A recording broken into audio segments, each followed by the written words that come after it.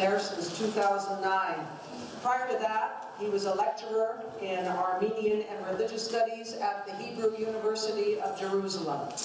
His doctorate was conferred by Harvard University with honors in Near Eastern languages and civilizations.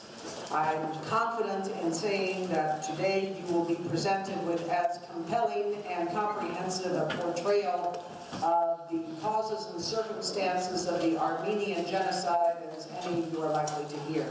So for the next two hours, pay attention.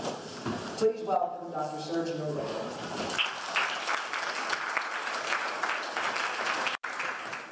Great. It's great to be uh, back here at Sonoma State. This is uh, one of the highlights uh, of my year, uh, coming back and, and, and seeing everybody uh, from the faculty as well as seeing new students and, and from the Alliance uh, to whom I'm thankful um, for hosting this lecture every year. Um, it, it's really a great opportunity uh, to inform people about the Armenian genocide. And, and, the course in general, I think, has done an excellent job uh, in informing people about genocide and the Holocaust in general. Uh, and so you're, you're part of really what is a tremendous program here uh, and part of history uh, as far as that's concerned. Uh, today, I'd like to talk about uh, the Armenian genocide uh, and the 21st century, since that's where we are now, and sort of, you know, a hundred years later, in some respects, why should we care? Why is it important that we uh, learn about this? Why is it important that we know about it? And so today, uh, what I'd like to uh, look at a century later is sort of the basic facts of the genocide. We'll start off with that. And, and 2015, what that meant, that was a huge year uh, for the Armenian community, uh, particularly in the uh, United States, but all around the world.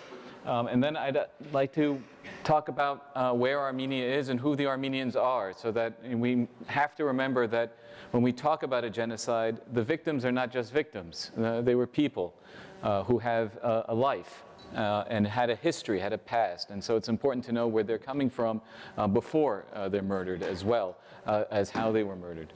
Um, and then we'll turn to how did the genocide occur? What steps were taken? Why do we consider it a genocide? Um, touch a little bit about uh, why it uh, continues to be denied, what's, why it's problematic. Um, and then what does it have to do with us? You know, since right now the, the last survivors of the genocide are, are passing away um, you know, at, at this moment in history. Um, there are very few left. Um, so what does it have to do with us who really have no connection, for whom the Ottoman Empire seems to be a, a long ago entity and a faraway place? And then I'd also like to bring up something that this is not just about Armenians. And I'd like to uh, thank Diane for pushing this. Um, I, have been remiss in the past about talking about the non-Armenian um, peoples who are also um, eliminated during uh, uh, the Armenian genocide. Uh, much as during the Holocaust, um, homosexuals and the Roma were also targeted uh, for execution and elimination. Also during the Armenian genocide, uh, Greek Pontic population and the Assyrian Christian population were also targeted. Um, we'll talk a little bit about that as well today. So, Let's uh, start with some basic facts uh, about the Armenian genocide.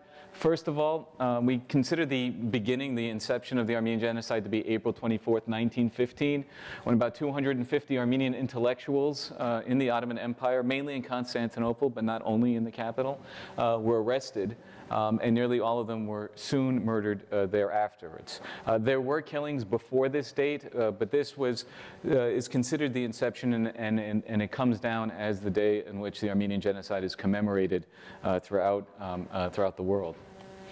Between 1915 and 1923, approximately 1.5 million people uh, were killed by the Young Turk regime of the Ottoman government. Um, 800,000, it seems, in the first four months.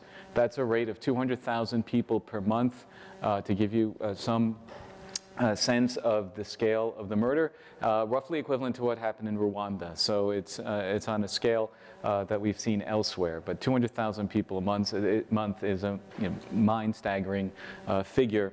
but, and it also speaks to why genocides are often successful, is that the speed with which they happen make it very hard to, to stop them. Uh, it occurred in the Ottoman Empire under the direction of the ruling uh, Committee of Union and Progress, known as the CUP, which was an ultra-nationalist Turkish, uh, Turkish party. Uh, we'll talk more about that um, uh, later on in the lecture. It is a defining moment. I'd like to emphasize this. It is a defining moment of Armenian history, but not the defining moment. Armenian history has a long history prior to the genocide, going back, uh, at least in recorded history, to 600 BCE, um, and, and, if not longer, uh, previous to that. Um, and it continues, obviously, today. There's a current Republic of Armenia. There are Armenians throughout the world, and they continue to make history. So while undoubtedly this will go down as one of the most important uh, events in Armenian history, it does not define who the Armenians are.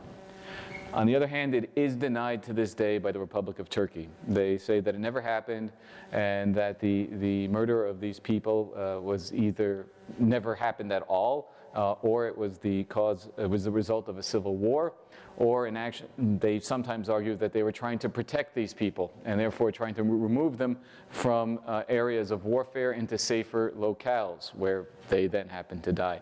Um, so the, uh, this line of argumentation has come under a lot of attack, obviously, um, and we're starting to see cracks um, now.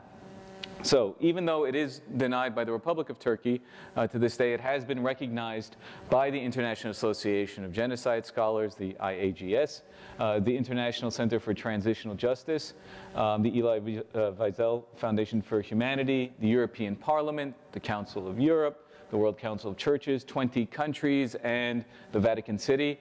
The United States has not officially recognized uh, the Armenian genocide as a genocide, although 43 of the 50 states have.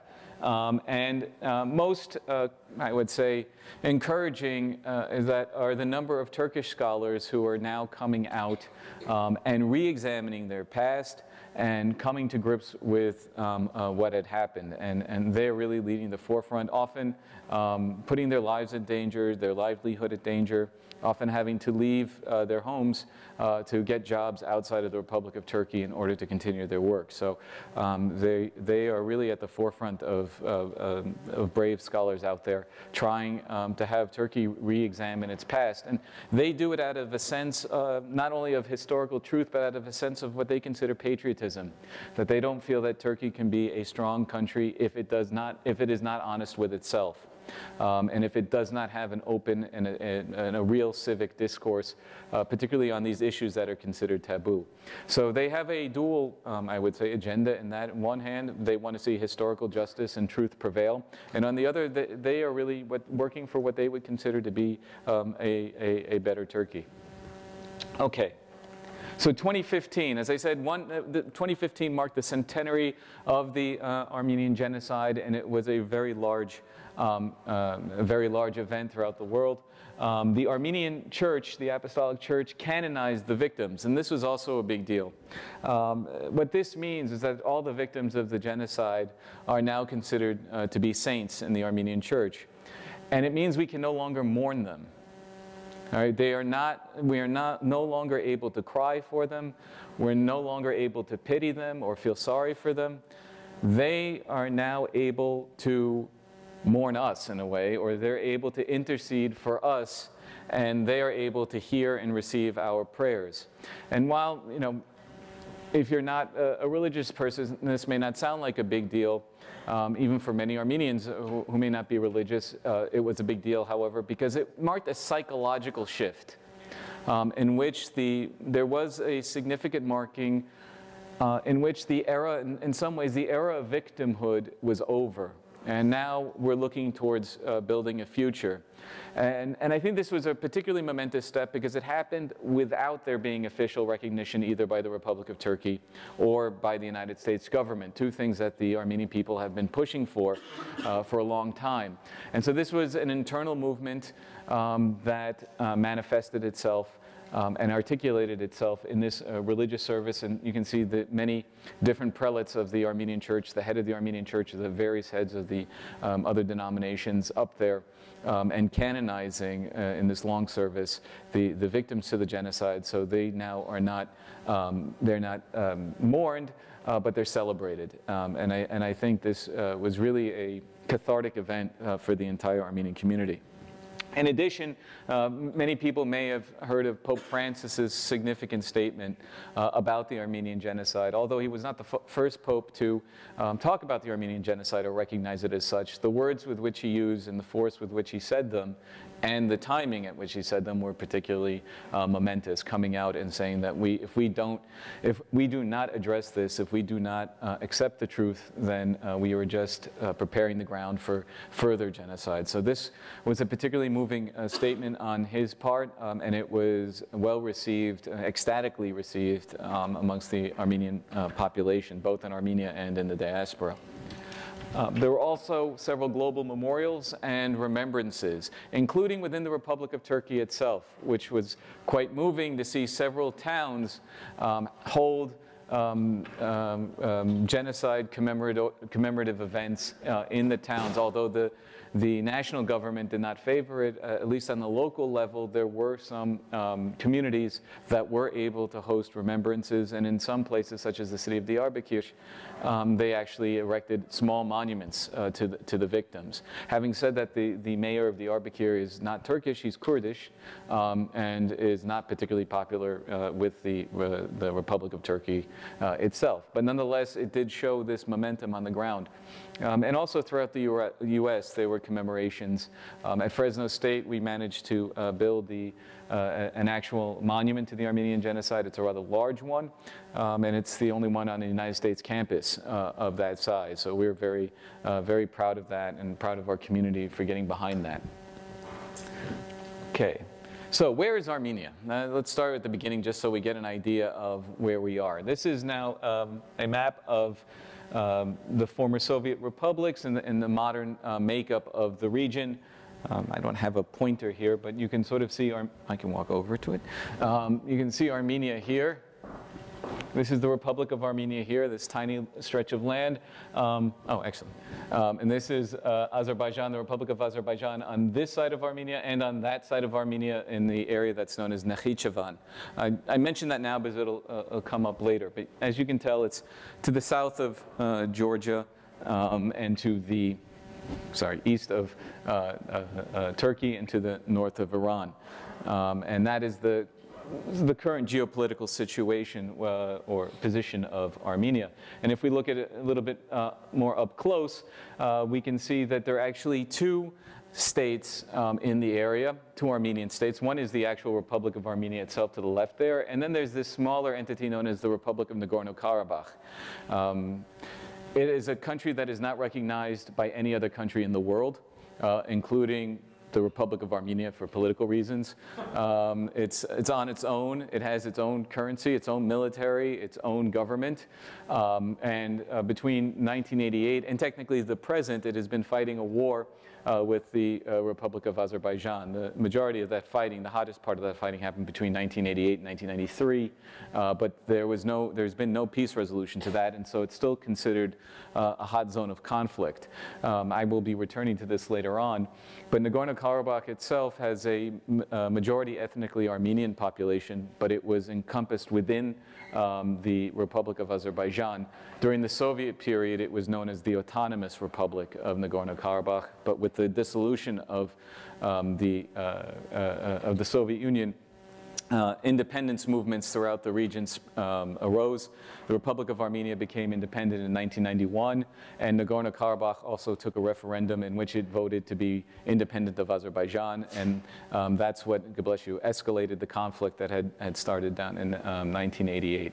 Um, so as you can see, though, the Republic of Armenia is bordered by Turkey, Georgia, Azerbaijan, and Iran. Um, not the easiest neighborhood in the world uh, to live in, um, and actually it's best relations, I would say, are with the Republic of Iran. Um, there was a blockade for many years on the, uh, and there's still one, on the uh, Republic of uh, Armenia, and the only way that it could get energy uh, for a long time was uh, via Iran. Um, and they actually set up a, a, a, mutual agreement on the protection of sites, of holy sites within the countries, so that Iran would protect um, any uh, Armenian Christian site within the Republic of uh, Iran, and Armenia would protect any uh, Muslim site within the Republic of Armenia. There, there's one, there's a blue mosque uh, that's there, it's quite beautiful, but they, they did restore it. Uh, so that was an, um, um, an important um, gateway for them to be able to survive, particularly in the years um, uh, 1991 to 1993, um, when there really was no energy. They've since um, uh, got their nuclear power plant up and running. Um, they basically scared the world saying, we're going to light this up regardless of what happens. And, and the French rushed over and said, okay, we'll make sure that it's okay. Um, they said, we're not going to starve, we're not going to freeze to death here in the winter. If we're going to go out, everyone's coming with us. Um, so the French went uh, and, and uh, helped fortify uh, the nuclear reactors so that they have energy uh, and heat. And the republic itself today is approximately 11,500 square miles, or about one-tenth the size of historical Armenia. Now, historical Armenia is not actually a political state. Um, there have been various states um, that, uh, uh, that the Armenians have um, ruled, uh, but historical Armenia is what we would consider uh, where Armenians in general have lived uh, for the past 2,000 to 3,000 years, where Armenian was the dominant language, and some form of uh, Armenian culture was the dominant culture. So this is a much uh, reduced size. And even if we compare it to, let's say, what should be the next map here, Armenia in the 19th to 20th centuries, these are the, we'll come back to these, but you can see that uh, the green in, in that uh, Kermit the Frog green is um, the six uh, Armenian vilayets or provinces of the Ottoman Empire um, as they existed in the 19th to 20th century. So even though we'll get to this later, Armenians may not have been the majority in all those regions. Historically, um, that is where Armenians tended to live. Um, um, the, the, the, majority of the population um, tended to live uh, there, as well as those, uh, the, the Russian um, uh, areas of the Kars Oblast and the Governorate of Yerevan. So um, in that region is where uh, Armenians used to live. Um, and now the Republic of Armenia is basically where you see the Governorate of Yerevan, the little area surrounding the Blue Lake up there. That, that's what uh, is basically left. Okay. So so I also want to talk about who the Armenians were and significant factors of their self-identification. First of all, they have a long history, as I've alluded to. Our first mention of Armenians and Armenians happens in the uh, inscription of Darius um, at Behistun from the 6th century BCE, 519 BCE. So it's a long history. Armenian speakers probably came to the region about 1,200 BCE. We're not exactly sure. They may have also been there um, uh, longer than that. But it's a long, uh, it's a long history and presence in the region. Um, they're very proud, however, of their Christian faith. They were um, the first nation to accept uh, Christianity at the beginning of the fourth century. They were not the first Christians, but they were the, the, the first people whose ruler said, I'm Christian, and so are all the people who are under me. Uh, and came about with a, a, program of conversion and of nationalizing the religion so that, um, that Armenians uh, would be Christian. They have their own church. It's known as the Armenian Apostolic Church.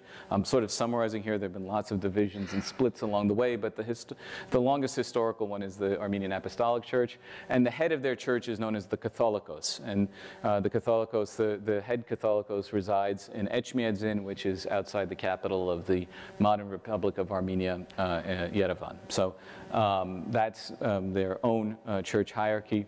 Uh, they are in communion with the Roman Catholic Church, but they're separate from it. They have their own language, Armenian, but not just their own language. They also invented their own alphabet to write it. Uh, in 406, um, St. Mesrop Mashtots invented the Armenian alphabet in order to uh, render the Bible into Armenian. Before that, they were doing it orally, so that they would read it in Greek or Syriac, and then somebody would translate it. And uh, obviously, this made the liturgy also twice as long as it had to be, which isn't a great way to spread the faith. Uh, and so they, uh, they came up with their own alphabet in order to uh, translate the Bible um, into a fixed form. And it's the same alphabet with certain modifications that they use to this day. So it's uh, over a 1600 year literary tradition um, uh, that they have. And uh, I would say one of the last important um, um self-identifying markers is this, this uh, dynamic between homeland and dispersion. Um, this is particularly true for modern Armenians, but it goes uh, back quite a ways where even though for long periods of time Armenians have not lived in that historical er um, area that I pointed out before, and they left for a variety of reasons, including business, military reasons, um, um, escaping um, hard economic hardship, uh, they always felt a, a, a, a tug, a, a tie uh, with, uh, with the homeland. And, and even today, um, Armenians who have been in this country for three or four generations still um, talk about historical Armenia as you know, the old country and, and, and their old home. So these are some of the characteristics, I would say, self-identifying markers of uh, Armenians themselves. But what about Armenians in the Ottoman Empire? Um, in the 16th century, right, the Ottoman Empire captures Western Armenia, okay? Um, uh, and basically, to some extent, brings the Armenians under uh, Ottoman rule, under the rule of the Sultan. Um, in the 16th and 17th centuries, the wars between the Ottoman and the Safavids um, in, in, the 17th and 18th centuries in particular um, created basically, turned Armenia, that region, that historical region, into a battlefield. Um, even though Armenians were not necessarily the object of uh, uh, the war, whenever Persian and um, uh, Turkish forces met, as you can see, there's the border between the two, right, where the, between the I and the A of Armenia whenever they were fighting, they were fighting on Armenian, where Armenians lived. Uh, and because of that, um, it, it, it, made life uh, very difficult um, uh, uh there, as normally uh, there's, first of all, the, the warfare itself, and that was often followed um, by a year of famine because the crops couldn't be taken care of, the land had been ruined, um, everything had been burnt down. Um, troops, while they were retreating, normally burned everything behind them so that en enemy forces couldn't follow them. Uh, and so that wreaked havoc um, uh, uh, on, the, on the civilian population that was there uh, as well. And so because of that, we see Armenians moving elsewhere into the, in the empire, and particularly to Constantinople, the capital, all the way on the Mediterranean Sea um, and the between the Black and Mediterranean Seas, um, the, the, the, center of the Ottoman world, um, with, which over time would have a, a large uh, Armenian population, so much so that some people refer to it as uh, the Armenian city. Uh, and Armenians refer to it as Bolis right? The city, just the way New Yorkers refer to the city. Uh, that's the way uh, uh, Armenians referred to Constantinople. So let's look what it might have been like for uh, an urban, relatively affluent Armenian in the middle of the 19th century. So right before the genocide, about 50, uh, 50 years before the genocide, uh, let's take 1860. An Armenian in Constantinople uh, or an urban environment in the Western Empire um, in 1860. Um, that's a view of the Bosporus and, and uh, of Constantinople there. So this, I have to say, was a time of hope, uh, a, time, a time of change and excitement. Right? If you were Armenian living in Constantinople in 1860, 1870, you probably thought this was the best time to be an Armenian in the empire, and probably the best time period in many respects. We had um, a series of reforms instituted by the Sultanate known as the Tanzimat. Uh, these were built, um, based upon internal and external pressures. Internal pressures in that the many sultans and the government uh, often felt like they needed to reform in order to compete um, in the international sphere. But also there were external uh, pressures from Europe making sure or trying to protect the Christian subjects of the Ottoman Empire uh, by creating a more egalitarian society uh, between the, the Muslim and Christian elements of the empire. So you had, you had both internal pressures of a desire for modernization and external pressures for a degree of um, um, uh, equalization between the various communities. And so these reforms are meant to increase education, increase trade, and protect the life and property of all subjects of the empire regardless of faith. Right, this was really a major dramatic change because up until then, um, really Christian subjects, and, and, including Armenians, were second-class citizens. Um, and it was a precarious existence in which both your life and your property could be taken away from you uh, without any legal recourse. Right? So these reforms were meant to be put into place uh, so that everybody could feel, you know, whether you're Muslim or whether you're Christian or whether you're Jewish, that you could feel, or Yazidi, or amongst the various uh, groups, as I say here, there's an incredible diversity in the Ottoman Empire, regardless of who you were, you would feel as though your basic rights uh, were protected. Right? The property you had that was registered would be protected, wouldn't be taken away from you. People wouldn't be able to just kill you on a whim, right? Because they wanted to take your uh, land. Right? So this was very important because in order to build also a robust economy, right, the, the basis of that economy has to be built on stability, predictability, and trust. Right? When, if you live in uncertain uh, climate, you're less likely to take the risks that are necessary in order to uh, increase uh, wealth. And the Ottoman Empire had a very uh, strong desire not only to just build up their military, but also to increase the prosperity of the empire. And as I say, it was an incredibly diverse place where you would hear many languages, um, not just Turkish, but you would hear Turkish, you would hear Arabic, you would hear Greek, you would hear Ladino, the language uh, of the Jewish population. These were Jews who had been expelled from Spain in 1492, um, and the Ottoman Empire took them in uh, and gave them a place to live, and they maintained um, their um, Spanish uh, language from that time and incorporated and, and, and, took on elements of Turkish as well. It's a beautiful language with um, uh, lovely music in particular. Right, as well as various European languages um, in, addition uh, uh, to these languages. So it was an incredibly diverse and an active um, uh, uh, um, community and empire. Armenians had done quite well in this system in the 19th century in particular. There was an urban society, a middle class that um, uh, uh, was able to support the kind of cultural uh, production that we uh, associate with the bourgeoisie. Right? They had important positions within the government. You can see superintendent of the imperial mint. They were imperial architects. Most of what today, if they take you around, and show you the wonders of um, 19th century Istanbul, most of that was designed uh, by a family of Armenian architects. All right? And they operated uh, uh, factories, including the gunpowder and paper mills. You can see these are sensitive sectors of the imperial economy. Right? They're not just running small businesses, which is very important, but they're controlling important sectors of the government. Now, part of this was because they had earned the trust and respect of the rulers, but another part of it was that the rulers knew that they weren't a threat. Right? It was much better to have an Armenian in control of the gunpowder and the paper mill. And the paper mill is important because you print currency with the paper mill too, right? You print money with it. And at the head of the imperial mint uh, at these, in these sensitive areas because you knew they weren't going to overthrow the empire. Right? It's, and so minorities uh, were often used um, and placed in sensitive areas because people knew that numerically and, and from a, the standpoint of legitimacy, they would never be able to uh, really be a threat um, uh, on, the, on the traditional power structure. But it does go to show as well uh, how, how they managed to succeed uh, within the empire. But even beyond that, oh, this is uh, a nice picture of the Tokatlian Hotel in Constantinople around 1900, which became famous in Europe through Agatha Christie's uh, Murder on the Orient Express. It was owned by an Armenian, uh, the Tokatlian family. Uh, they are from Tokat, um, uh, a town in, uh, to the west of Constantinople, sorry, east. Um, okay, and um, the other aspect of this bourgeoisie is that they were educated. Right? Uh, wealthy Armenians studied in Europe in the 1840s. Um, they went to France and Germany to get degrees, and they brought ideas back with them. Uh, but they also um, attended colleges in Anatolia that were opened up in particular by American uh, Protestant missionaries. Uh, so here's Robert College that was outside, or it's in Constantinople, Euphrates College in Harpert, and Anatolia College in Marzavan.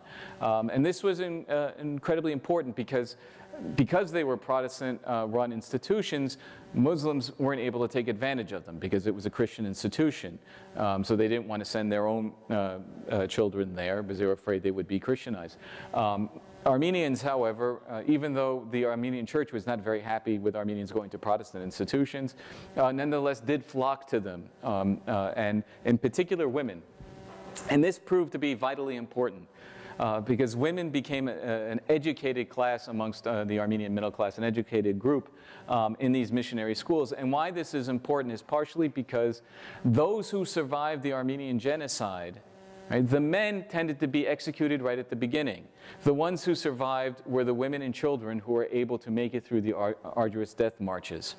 And so the tradition and um, uh, the respect that these women had for education in the Ottoman Empire then came with them, was carried with them to wherever they then went. So they automatically thought that their kids would be going to college. College to them was not a foreign institution. They were already accustomed to being educated and for women having uh, an education, and they put that, placed that as a priority.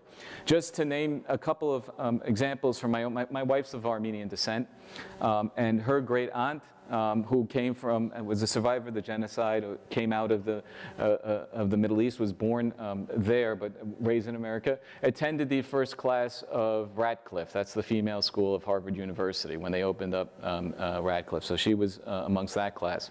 Um, and my, my, um, my mother-in-law's cousin, uh, Nona Balakian, was the first female editor-in-chief of the New York Times Book uh, Review of Books. So, which was a, she, it's a triple whammy. She was, she was A, uh, an immigrant, B, she, uh, she was a woman, um, and, and, and, and, and C, she had a, um, a physical deformity. Um, in fact, she was not able to go to school up until high school. She was um, homeschooled um, because she was not able really to walk straight. So this was a really a, um, you know, a groundbreaking achievement uh, uh, for, uh, for a woman of that position. And she became one of the most influential um, literary critics uh, of the uh, of second half of the 20th century. Um, so, but that's because her own um, uh, parents, her mother had gone to school in the Ottoman Empire. So this was already understood to be part of their um, intellectual heritage. And as I say, at this time too, if you're Armenian, what's amazing is that you're getting the vernacular, spoken Armenian. Up until this time, really, the classical language um, had uh, dominated uh, Armenian literature. That is, it would be like Latin being used in Italy up until the 19th century. Right? And it was, it is in certain religious circles, but here you have in the 19th century Armenians now exploring their own spoken tongue right, as it was heard on the streets, um, and creating a literary language, and with newspapers and literary journals um, and, and writing uh, uh, and translating plays um, and, and books from European languages, translating Shakespeare, translating Dante. Uh, it was it, for somebody who was coming up at this time, it was an intellectually exciting um, and engaging period in which you felt like the intellectual culture was also opening up. It was no longer going to be limited to members of the ecclesiastical hierarchy, that is church, uh, monks and stuff like that. Now there was a real chance for other people uh, to make a mark on uh, Armenian history. And, and, we get Armenian literature. We get uh, poetry, prose, plays. It's huge. When you think about the amount of work um, that went into this effort over a relatively short period of time, tens of thousands of books were either translated or written in this sort of 50-year period between 1860 uh, and 1915. Uh, uh.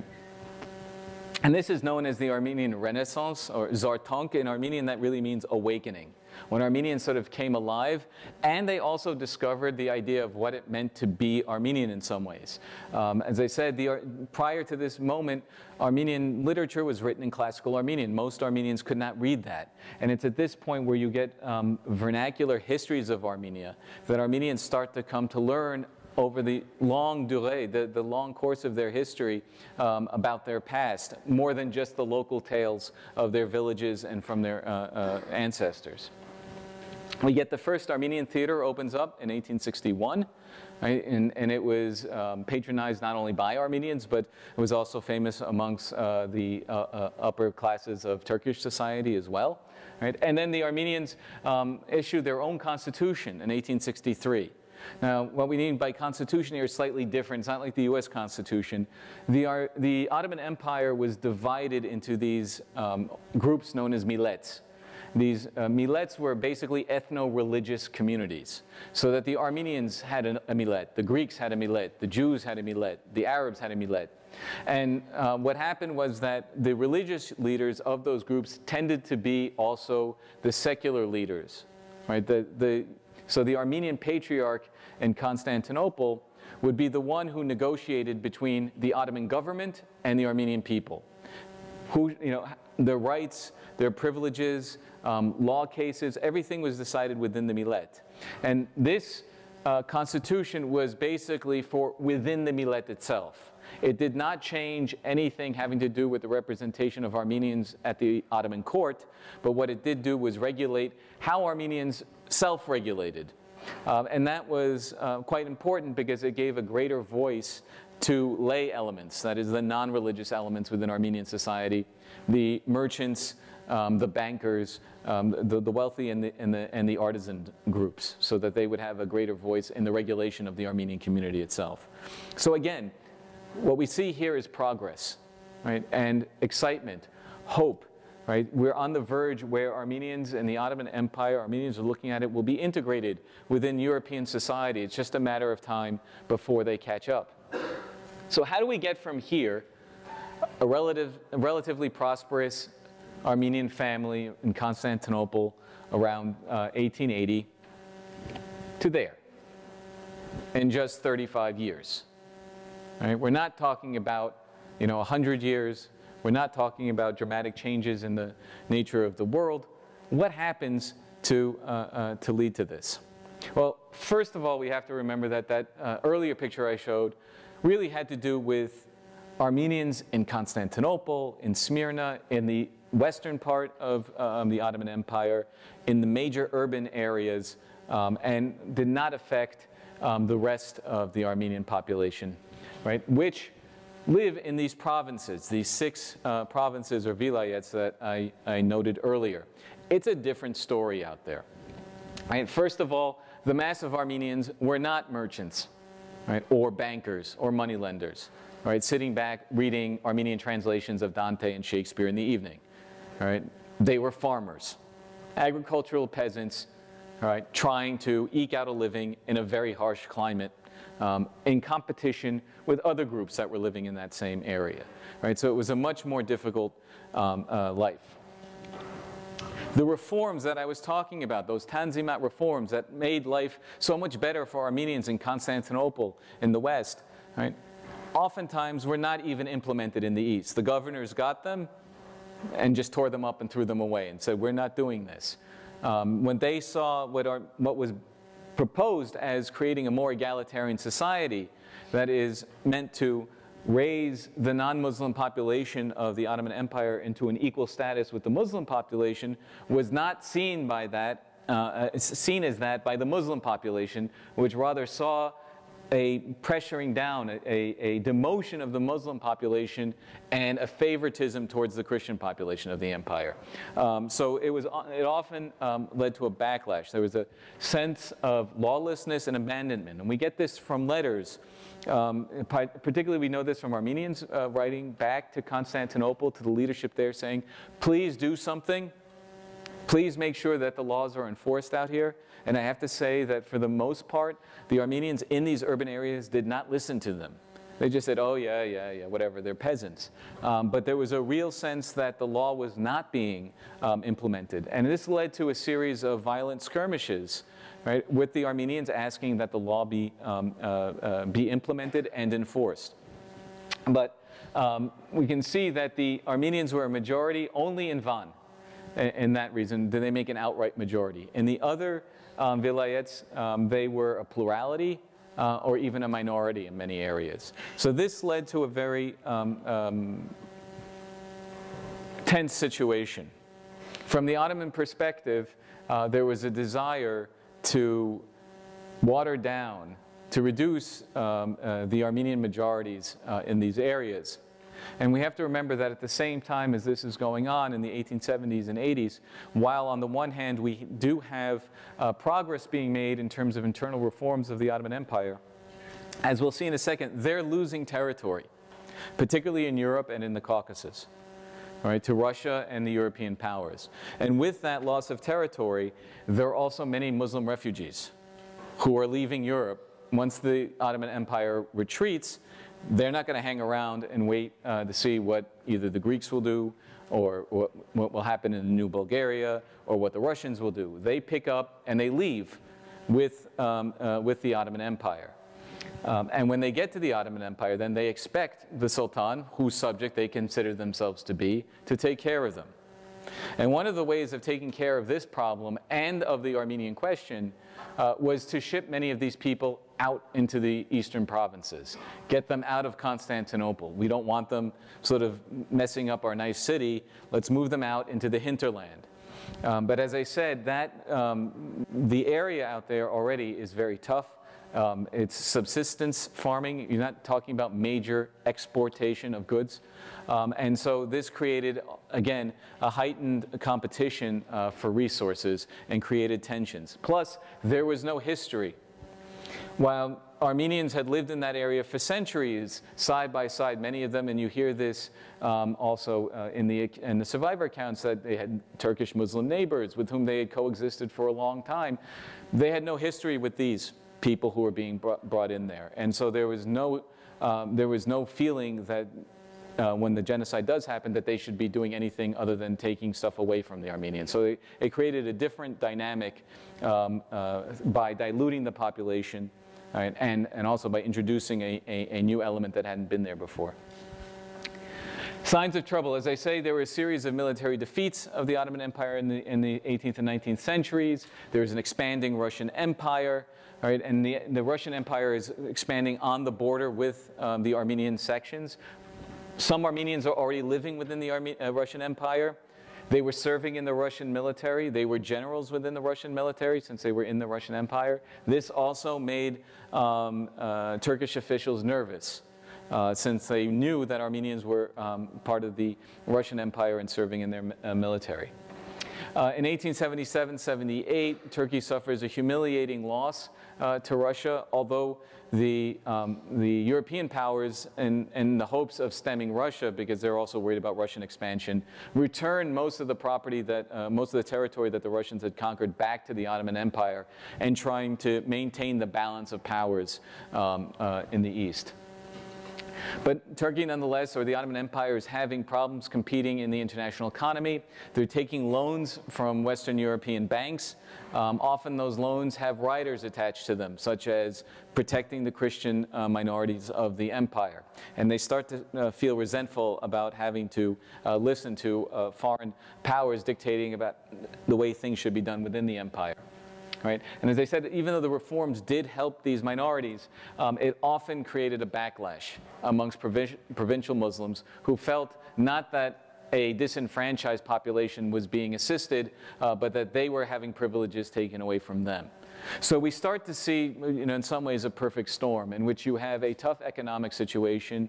You have a situation in which the pride of the empire is being uh, diminished through these military losses.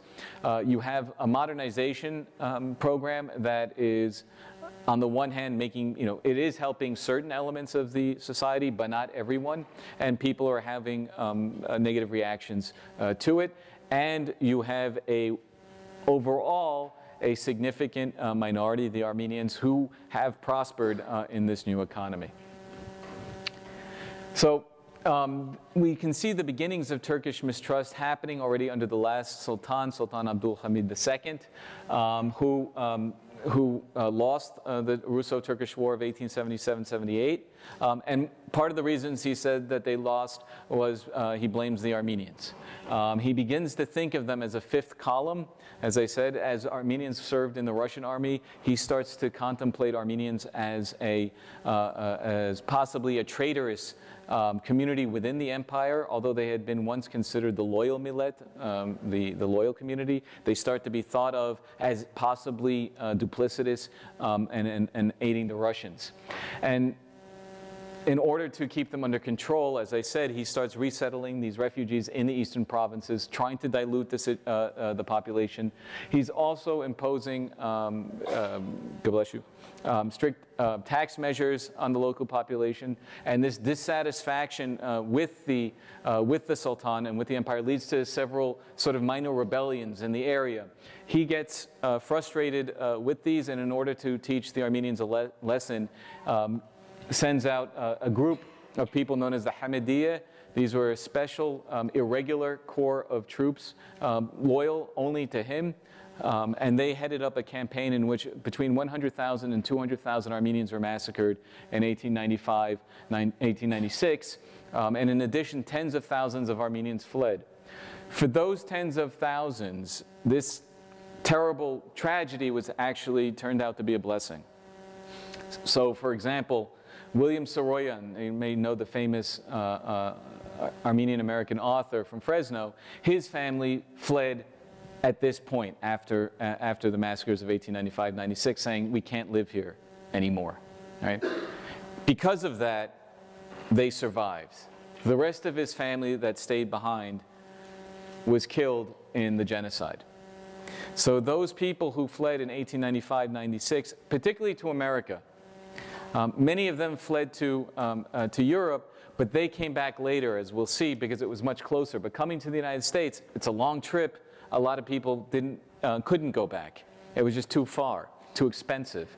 And so those who managed to uh, get out and stay out wound up then uh, surviving the genocide. And, and, and so this terrible tragedy uh, turned out for those people uh, to be a hidden blessing. Now, having said that, the Sultan uh, himself was pretty um, crazy. I mean, he was a paranoid. Uh, that's uh, pretty uh, clear. Um, and everybody was getting sick and tired of him. It wasn't just the Armenians. Um, we, he didn't also just mistreat the Armenians, he mistreated other ethnic groups uh, within the empire.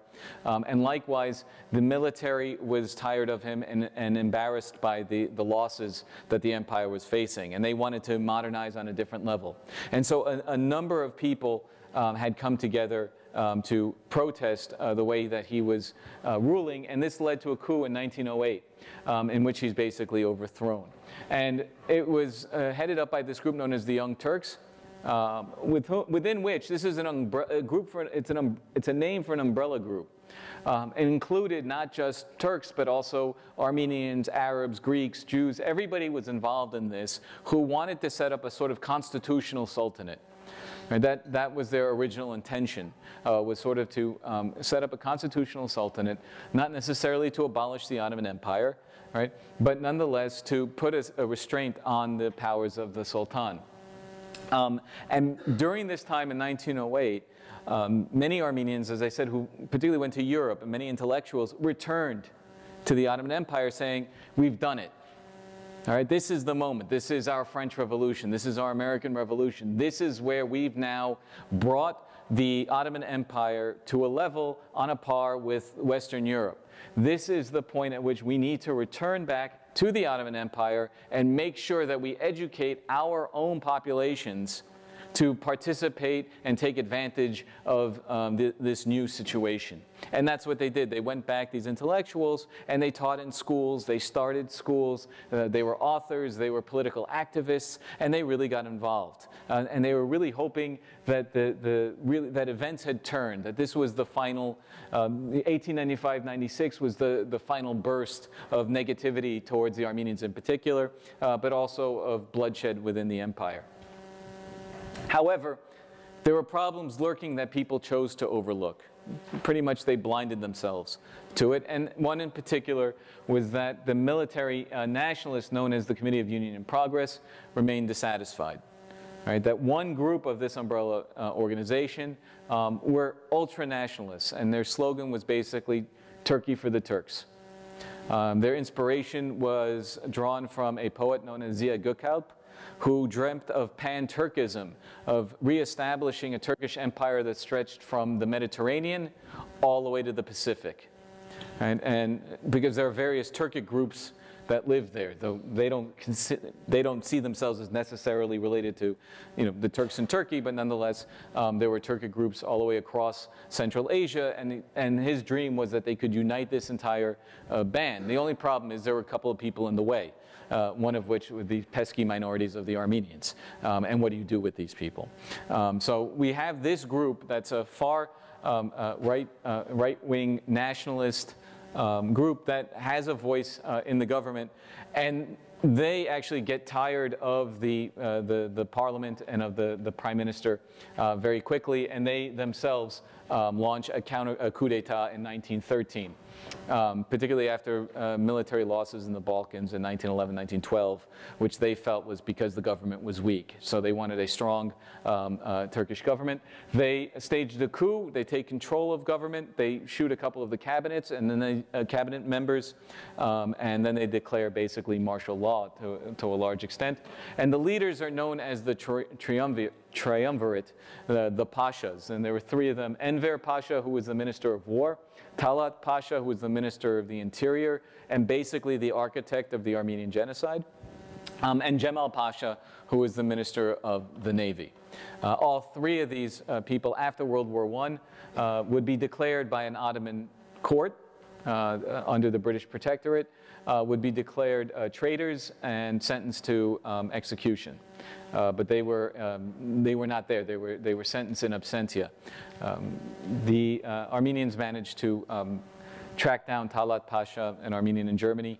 Um, uh, Solomon uh, uh, uh Tehlirian uh, managed to uh, happen to find, see him actually by accident um, in the street and then um, got home, got his gun, um, and, and shot him in the street. And then he was arrested by the German police and after a very famous trial was declared innocent. Um, of, of murder because of, of what had happened during the genocide. So, um, Enver, uh, remember the uh, Ottoman Empire uh, is allies with Germany in World War I. Um, and Enver uh, and the triumvirate in general are very anxious to get into the war. Germany actually doesn't want them to enter, but they're very anxious to get into the war too. They have dreams of glory, of being able to conquer this entire area. And for Germany, they really did not want that to happen because they didn't feel like the, the Turkish military was prepared. Uh, but in any case, uh, they, do, um, uh, uh they do enter the war.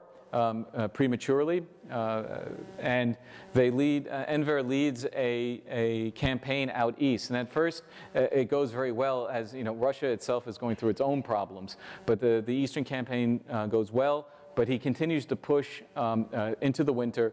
And in, in, January of 1915, his army is absolutely decimated at the Battle of the Sarikamish. Um, and uh, this was a, a, real military disaster in, in, which he almost lost his entire army. Um, you know, they were starving. They couldn't even eat the horses. The horses had died. I mean, everything. I mean, it was a real embarrassment uh, to the Turkish military. And on his way back, he formulates this idea, well, it's not that we lost, we were betrayed. And he starts to blame the Armenians right away uh, for the loss at Sarikamish. Um, and um, this starts putting into motion uh, what we, we can say is the final solution for the Armenian problem. Um, there is still a debate today about how long the, uh, the plan for the extermination of the Armenians was in place. And uh, there's people have been on both sides of it saying, well, it was formulated right around now. And other people say, no, they had already had this in their back pocket um, even prior uh, to the outset of the war. And they realized with the onset of World War I that they would be able to use the war as a convenient cover to eliminate um, the, uh, the, uh, the Armenian and other populations of the Ottoman Empire. So the beginning of the genocide. Uh, as I mentioned, February 1915, um, uh, Armenians throughout the empire are disarmed. Uh, one of the great things about the military uh, coup of 1908 originally was that for the first time Armenians were actually able to serve in the, in the Ottoman military. Um, and Armenians had been armed in the eastern provinces, obviously for personal reasons, um, hunting for food uh, and stuff, and self-defense. Uh, but now the, uh, the, but they were not able to serve in the military. At this point, they are um, told to stand down uh, from the military and uh, anybody having arms. This was also a very convenient, became a very convenient excuse for rounding people up. If you live in the country, uh, some of you may know, um, often a gun is absolutely essential to maintaining your livelihood. And so now it became a, punish, a, crime uh, that was punishable. All right, so one of the excuses for rounding up Armenians would be, oh, they were carrying guns, even if it was just a musket used to, uh, you know, a, a, rifle used to, to kill um, uh, for food. Um, and so this became a very touchy uh, subject uh, early on. Uh, on April 8th, uh, Armenians uh, of Zeytun were de deported. That was one of the first towns. A traditional site of sort of Armenian stubbornness. Zeytun was always a very, it's a, it's a very mountainous region. Um, the Ottoman Empire actually never fully had control of it up until this point, up until like the 19th and 20th centuries. Um, earlier on, they tried to take it, but it, given the territory and the, and the people there who were very stubborn and willful, were never able to completely subdue it. Um, and in fact, the treaties of the surrender of Zaytun originally were, okay, you, you provide us with olive oil, or you provide us with oil every year for the, I think for the, for the um, lamps in the Hagia Sophia. That's your tax. For the year, which is pretty good compared to what everybody else was doing. Um, so, I mean, it was, uh, they realized that Zaytun was a sensitive spot. Given the geography, it's very, it's very mountainous, it's very difficult to take. And so by deporting these people right first at the outset, before anything else had begun, they had already eliminated one of the, what would be one of the more problematic spots they knew later on to, to eliminate. Um, on April 19th, uh, there were massacres uh, in the Van region um, as people moved in there. Um, again, Van was the province that had the majority. The, it was the only province that had a majority of Armenians in it. So again, one of the early spots to hit would be Van in order to make sure that they could um, clean that up um, uh, quickly. Um, and I use that term because that's the term they themselves used uh, about cleaning up the area. Um, and then they, they said, we cleaned the table, as they said, we cleaned the slate of the Armenians, and now we're going to take the Assyrians. Uh, that was uh, one of the quotes that uh, uh I believe it was Talat used. Uh, actually, it was Cevdet Bey, the minister, uh, the governor in, in Van. On April 24th, approximately 250 Armenian leaders in Constantinople were arrested, as I noted. that's how we marked the beginning. And by 1916, over 1 million people had been killed by the uh, Ottoman government and 500,000 had been displaced. Again, it's the speed, the speed that makes it so very difficult uh, to stop. So, uh, by 1923, 1.5 million dead, and that today is considered the official estimate of the total number of Armenians uh, killed uh, by the Ottoman, uh, uh, by the Committee for Union and Progress during uh, this period. Here's a map um, that sort of shows you with colors about the effects of the genocide. These are the Armenians in 1914. Darker red, more Armenians, lighter red, fewer Armenians, as you can see um, uh, uh, the regions uh, then also then to the south um, are white where there are hardly any Armenians at all. So that's, we'll say that's before, that's in 1914, that's 1923. So if you want to look at that again, that's where Armenians were living in the Ottoman Empire. That's how many are left after uh, the war. So it's a pretty dramatic change and elimination uh, of the population. That's by 1926, for which we have a census in the Republic of Turkey. Okay, so how does the genocide, and you'll sometimes um, uh, see the Armenian genocide referred to as the first modern genocide or the first genocide of the 20th century, although there had been other genocidal acts um, prior to the Armenian genocide in the 20th century. How does it relate, though, to modernity? And I think this is an important, uh, important aspect of the Armenian genocide because it is, in many respects, wrapped up uh, with the dark side of modernity. With modernity came a lot of benefits. Obviously, we, we still experience them today, uh, but there also came many dark sides. And, and, and if we look at them, uh, we can see that we notice here the full paradigm of genocide um, that we'll see and later genocides in the 20th century, including the Holocaust. Um, the use of technology, one of the things that is great uh, for us today um, was also, I mean, can be good, used for forces of good, but it can also be a, a way of uh, eliminating people, unfortunately. Um, on the other hand, it did mount the first international relief effort uh, of its scale, and uh, we'll look at that a little bit. Uh, and really, it, it laid the foundation for the formation of the modern Middle East. Uh, you cannot understand what's going on today in the Middle East without understanding the Armenian genocide, which is one of the reasons why it needs to be uh, in, included in the history books and, and taught at the universities, and not just, as I don't know about you, when you uh, may have had uh, history, especially history of World War I, uh, in high school or in college, but you normally got two lines in many of the history books saying, oh yes, and in, during the course of World War I, the alleged Armenian genocide happened, or uh, it's debated that maybe 1.5 uh, million Armenians were, and then passed over as though it was like an, you know, a sideshow. Uh, while in, in, actuality, it's, it's very much part of the fabric of the world as we know it today as well. So let's look at some of these. The paradigm of genocide. First of all, Armenians were denigrated depicted as a disease, as vermin, right? They infested the Ottoman Empire. They were rotting it. They were eating it out of it. They were parasites, um, a common way of turning them into non-humans so that they could be more easily eliminated by the population, right? There is a pattern to the extermination. Again, this is not random acts of killing as is often tried to be depicted by denialists or by accident, right? We can see the men were gathered, held, and marched out of town, and then at a short distance, um, they were shot or bayoneted. If they wanted to save money on bullets, they stabbed them. All right. Um, then the elderly, the women and children were told they would have to leave, and they were marched through the desert towards Aleppo and then along the Euphrates River to places like Deir ez-Zor, which has come back into the news today um, because of ISIS um, uh, taking control of Deir ez-Zor and, and fighting, having um, uh, uh, um, conflict over there. Still, you can see it's in the middle of the desert. It's actually a city today, but it was really nothing 100 um, years ago. Uh, it was in the middle of the, uh, of the desert. So we see this pattern repeated over and over again in different locales. Right? It's not just in one place. Um, sometimes uh, they had the men write back. They would say, well, we're taking them to this place. And so when they got there, they would write a letter back saying, we reached here, it's okay, you can leave.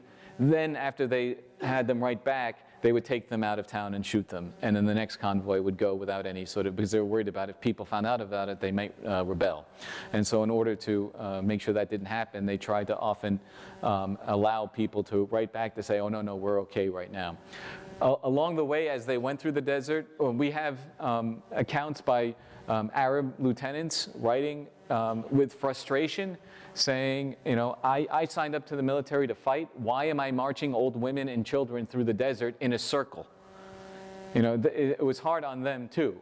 Uh, they didn't know, they weren't told what they were doing. They were just told they had to do it. And they were marching around the desert in a circle um, until everybody just dropped dead. Um, as they marched through also, um, many times Kurdish tribesmen um, but uh, would come and uh, take the girls that they thought uh, were pretty and, and take them away. Um, and that was very common. There's still, uh, there's a whole new line of research opening up into these sort of um, descendants of uh, Armenians. That is, peoples whose grandmothers were uh, taken away as, uh, as children. Uh, some of them tattooed uh, some Armenian on them to remind them who they were. Um, some of them, you know, their new uh, their new families were perfectly happy to admit that this is what it was and they didn't have a problem with it. They didn't think, they, didn't, they, most of these tribes were not thinking in terms of genocide. They were thinking this was an opportunity for us to, to, to rape and pillage, and, and that's what they did. Um, and they weren't actually ashamed about it. I remember I went um, to a town in, in, in, in, in Turkey, which had been an Armenian town, and the local Kurds who were living there uh, today uh, came out and they, they asked the group, as I was with a bunch of Armenians, where the gold was. And the group said, what are you talking about? And they said, well, our grandfathers were told by the government that if we killed all the Armenians in the village, we could get their gold. And said, we've dug up everything here and there's no gold. The only thing we found were fillings in the corpses. So where's the gold? You must be coming back for it, otherwise why would you come here?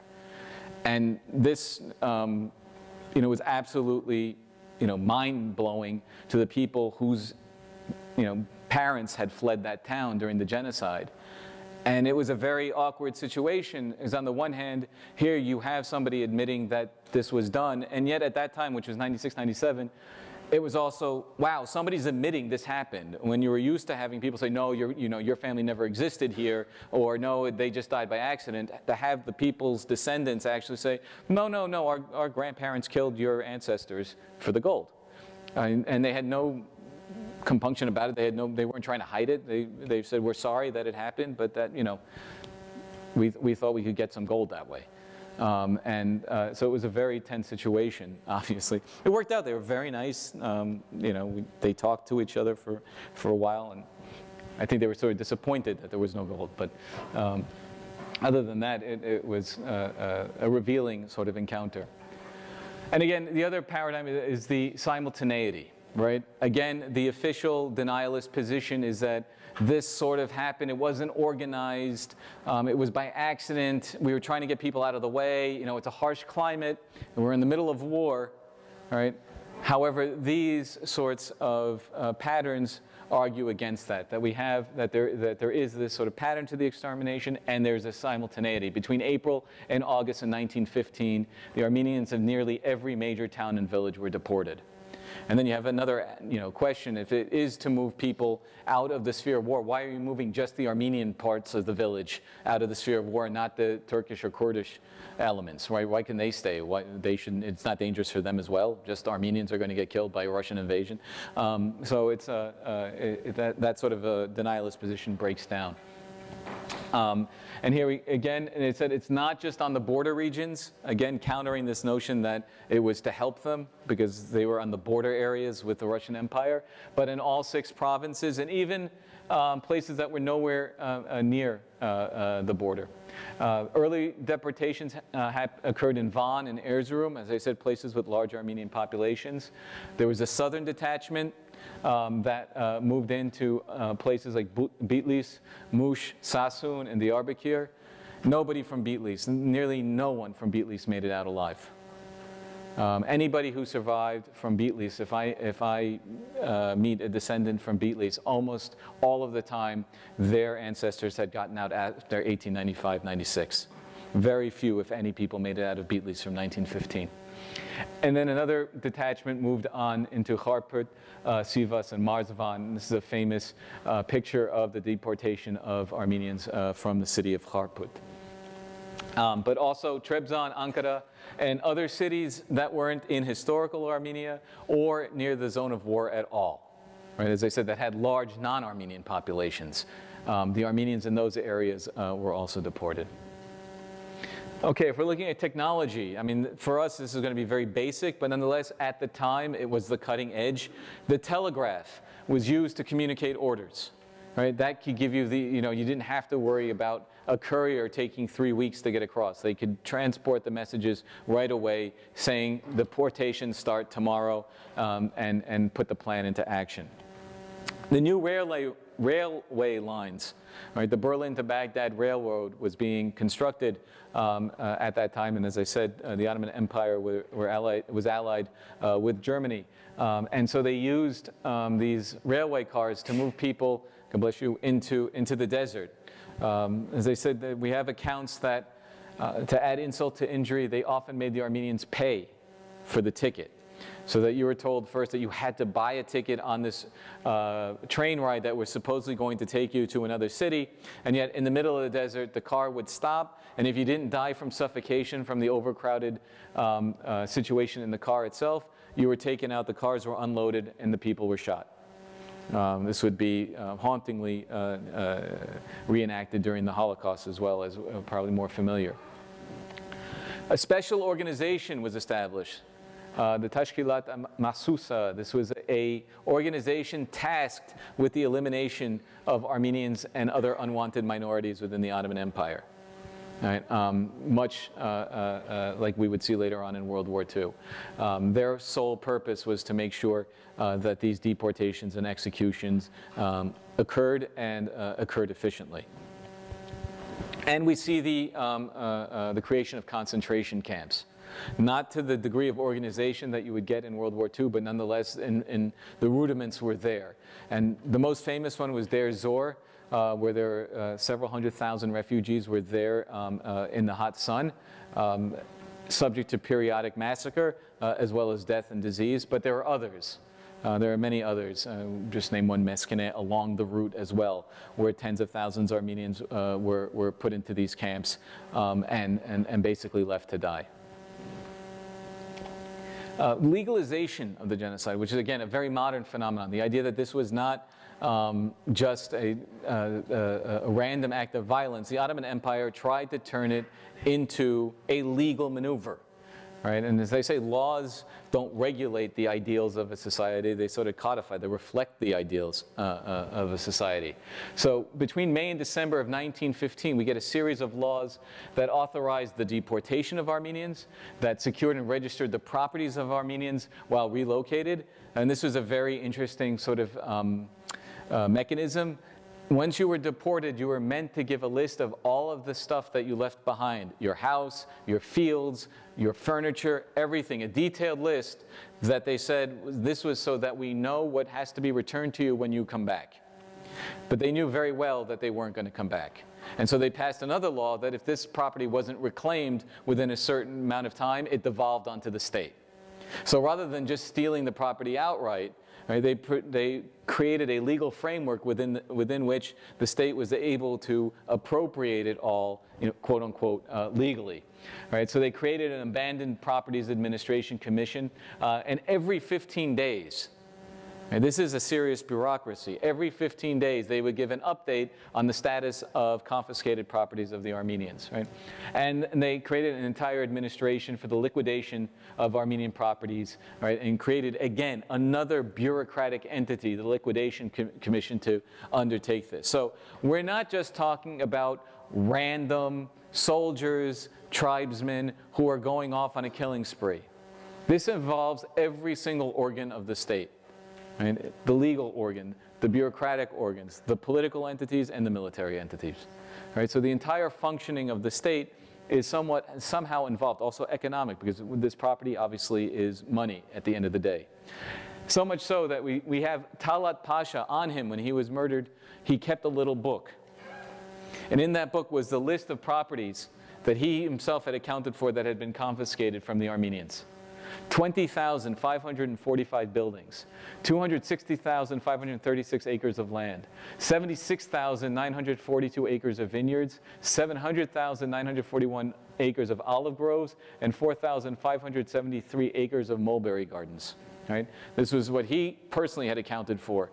Uh, this is not, you know, uh, just to make sure uh, that had been confiscated. All of that devolved to the state. Right, this is managed to be a, a large um, cash influx uh, for the economy, uh, uh, uh, what would be the new Turkish Republic. We'll see this shortly. On the other hand, if we're looking at it, the Armenian genocide, beside these negative aspects of it, it's the first time we get the interna inter internationalization of such an event, such a catastrophe. Um, nearly 200 articles in the New York Times are written on it between 1915 and 1922. Um, the reports of the American ambassador to Turkey, Henry Morgenthau, and of American missionaries were published shortly afterwards. Uh, America was neutral for most of, the, uh, most of World War I. We only came in at the end, which meant that we had people on the ground in the Ottoman Empire. Um, and they were writing furiously back uh, to the United States about what was going on, uh, about how terrible the conditions were. Uh, and so they form one of our largest uh, bodies uh, uh, of sources for documenting the destruction of the Ar Armenian community of the Ottoman Empire, but as well as the Assyrian and the Greek communities as well. Right. In addition, we also have German reports. Those have been underutilized, uh, but scholars now are turning to them because Germany were allies. German, uh, Germany was al an ally of the Ottoman Empire. They also had their own internal memoranda that went back and forth. And, so, and they're in the German archives. You don't have to worry about going to um, uh, the Republic of Turkey and trying to get permission to use those archives. And so those are coming to light um, uh, as well. And in fact, German author, Franz Werfel, um, he wrote a, a, book called 40 Days of Musa Dagh, which became an international bestseller, translated into dozens of languages, um, and um, it was almost made into a motion picture.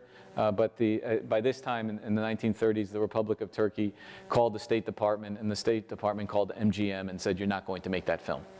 Um, at that point, we had already started the courting of the Republic of Turkey, so it wasn't made. But nonetheless, his book, um, again, uh, brought attention uh, to this uh, uh, uh, to this tragedy in a way that earlier ones had not received. And because of this, we also got huge relief efforts. All right? And again, one of the crimes of ignorance about the Armenian genocide within particularly the American school system, which tries to shunt it off with one line, is that it also denies Americans a part of their own history which is the huge relief effort that Americans launched afterwards that I'm sure nobody taught you in school. I never heard of it at all. But it founded, in response to the situation, the, uh, uh, the American Committee for Relief in the Near East, which is still around, it's now known as the Near Eastern Relief Fund, um, started this campaign. Between uh, 1916 and 1930, the U.S. raised $116 million in relief money. That's the equivalent of $1.5 billion today. The largest relief effort ever. Right? Larger than what they did uh, for Ethiopia, larger than what they, uh, they've done for Haiti, all of those. This is the largest relief effort ever. right? And it was the first time that you had major politicians, presidents, right? Former presidents and current presidents, senators, and celebrities. There you can sort of see it, Babe Ruth. Bet you most of you didn't know this. This is from 1920 New York Times clipping. Babe Ruth presented one of his home run bats um, uh, uh, to Mademoiselle uh, Nuvart Zeron, uh, Goshgarian, who will sell it uh, at an auction to raise money for the Near East relief. All right, so that's the uh, that's of child actors uh, were involved at the time. There's pretty much what we now consider par for the course for any relief effort following a major tragedy. The first time that it was tried out was was then. Um, for, the, uh, uh, for helping those people who had suffered um, uh, at, the, at the hands of the Ottoman Empire during the Armenian genocide. It also was key in defining the word genocide. many of you know, you may have noticed on that uh, New York Times clipping that I had up before from one of those articles, it said mass extermination. Right? It did not use the word genocide, and there was a very good reason for this. The word genocide did not exist in 1914 or 1915. Okay? Uh, so newspaper articles and political papers of the time used phrases like mass killing, attempts at total annihilation, extinction of a people. You can see the authors trying to grasp the catastrophic nature of what was going on. There was not a word that could sum it up. And so they start using these superlatives um, that are dreadful. Uh, but you can tell that they still don't convey what these people were seeing or the reports that they were receiving. And it's not uh, until 1940, uh, 1944 when a, a, a, a Polish Jewish jurist named Raphael Lemkin coins the word genocide based on his own knowledge of the Armenian genocide from, uh, from when he was a child, uh, as well as his study uh, of crimes against humanity, and unfortunately from personal experience as uh, about half of his family was killed during the Holocaust. so those, those experiences put together led him to dedicate his life to studying um, this type of crime. And, and because it seemed to differ in nature from uh, random acts of violence or just large scale um, uh, destruct, destruction, um, he coined the term uh, genocide, meaning the, the killing of a people, of an entire race. Okay, and as I said before, and I want to come back to it, it was not just Armenians.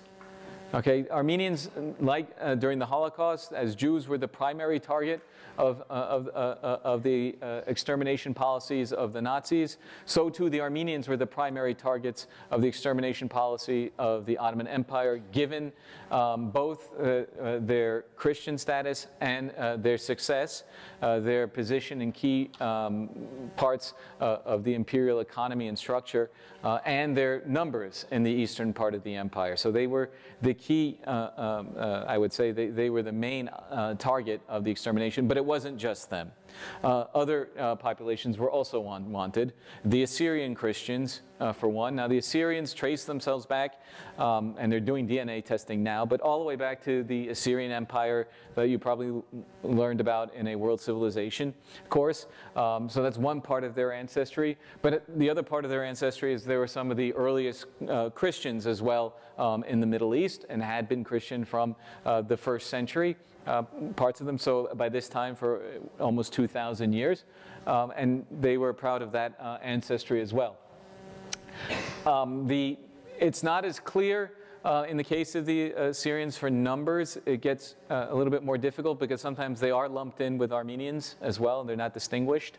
Um, but Contemporary reports uh, record about 200,000 to 250,000 uh, were killed in the region of um, Turkey and uh, the Urmia region of Iran uh, between 1915 and 1923. You can see that area of the darkest purple uh, being the, the, uh, the area of the greatest concentration of Assyrians um, and also where the massacres took place. Right? And this number could go possibly as high as 400,000.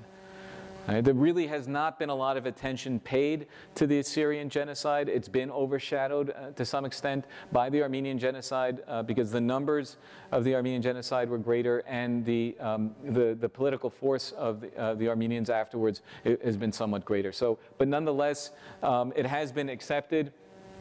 Um, this year of the sword, as it's known in, in Aramaic, in, in their language, uh, the year of the Sayfo, of the sword, 1915 uh, has been uh, uh, accepted as genocide um, by the International Association of Genocide Scholars in 2007, um, and, and recognition of about, if not over half the population uh, of, of, Assyrians of the Ottoman Empire having been uh, murdered. And I'm also happy to note that in 2015, the Republic of Armenia became one of the countries to recognize um, the Assyrian genocide as a genocide. And this is one of the things uh, that, of course, we need to avoid, which becomes a competition amongst genocide scholars about, you know, oh no, mine was a genocide, yours wasn't a genocide. Uh, about, so not, not, between scholars, but amongst the victims. It, it's unfortunate that sometimes uh, that happens. And so, I'm, you know, I'm happy to see that the Armenians have been able to also accept that other people um, were killed along with them, um, uh, because that's what really did happen. And that's the way the Ottomans uh, uh, also uh, promoted it. They said, we're taking care of whichever population, sometimes they say it's the Assyrian population, and now we're going to take care of the Armenians, and sometimes they say we've taken care of the Armenians, and now we're going to mop up with the Assyrians. Um, and so um, uh, we get it, um, the two are very closely combined. Likewise, at that time, we get the Greek genocide. Uh, there's been a Greek population in Anatolia for long periods of time. I mean, uh, you know, from 1000 BC, 800 BC at least, um, uh, Greek speakers in Anatolia. Um, and again, amongst the early converts to Christianity, Paul is going through Anatolia and his missionary ex uh, experience in converting the peoples there. Uh, so again, from the earliest eras of, uh, uh of the Christian movement. Um, and the, uh, they were especially populous in the areas of Thrace, that is the European side of what today is Turkey, um, the, the region of Pontus, which is along the Black Sea, um, and uh, Cappadocia, which is sort of in the middle, right next to Armenia. Again, numbers here have also uh, not been um, generally accepted.